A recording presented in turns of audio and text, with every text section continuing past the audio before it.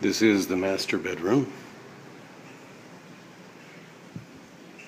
Nice and spacious, and it has a door out to this wonderful covered veranda and heated pool and jacuzzi.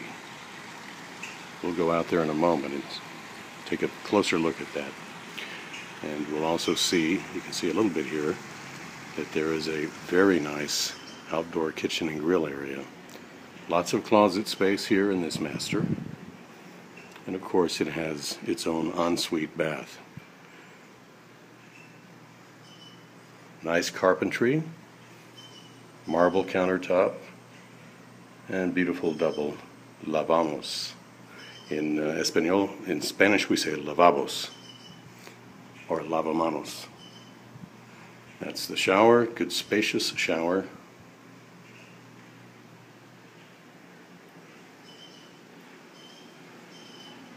Cross this little hallway and go into the two other bedrooms which share this bath.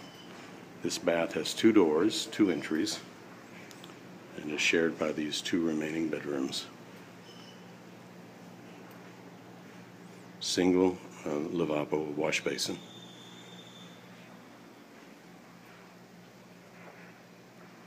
Another good sized shower. Ah, I misspoke. Here's a second wash basin. So there are two so that both of you can get ready for your elegant evening out at the same time. This bedroom also, bedroom number two, has that window out to the veranda and pool. And then here's bedroom three.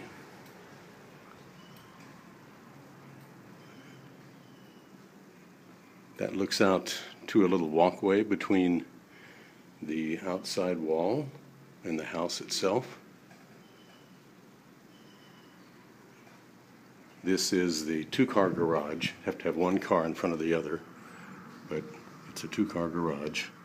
You can also walk through and around this way.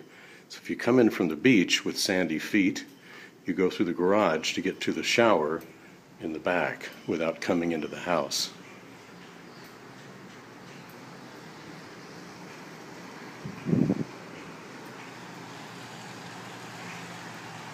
This is just beautiful. Covered veranda. This is called mm, y medio pliego. That just means beams and then this type of sheet tile.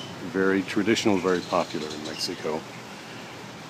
These columns are done with big blocks of um, cantera stone, which is mined in central Mexico.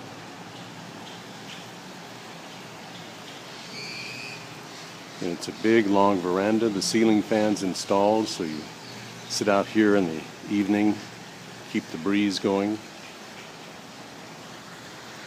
Here's this beautiful, beautiful outdoor kitchen. Really nice. It's a nicer kitchen than a lot of homes have inside.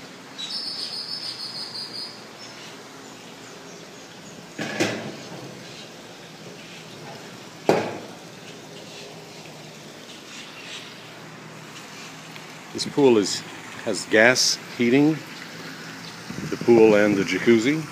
And then that, of course, is the cover. When the pool is heated, you pull that over it in the evening so that it doesn't lose heat. Everything here is just impeccably maintained and well thought out. Incredibly livable house. I'll make the note here too, very important, that although we're only um, not that far off the main highway. You don't really hear the highway sound back here.